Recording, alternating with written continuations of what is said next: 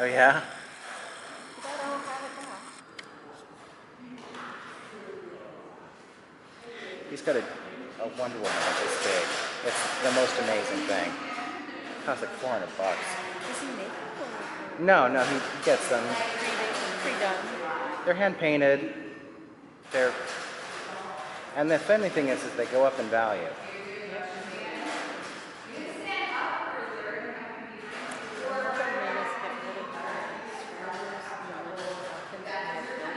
Oh. Don't feel too bad. Some of that stuff, some of the stuff is, if it's not inside a box. yeah, it's not, you can't get that much for it. People are really weird about that shit.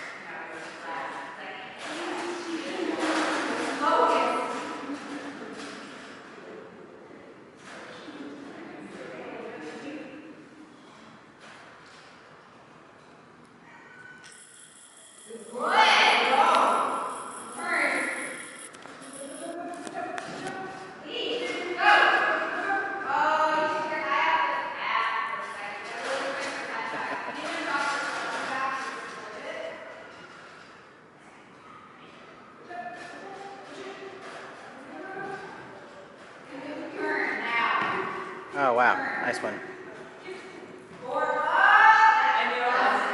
Oh. Did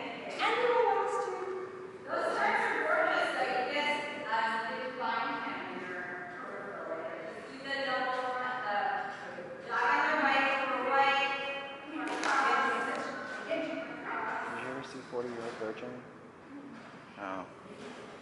The house, the main character's house looks like our living room.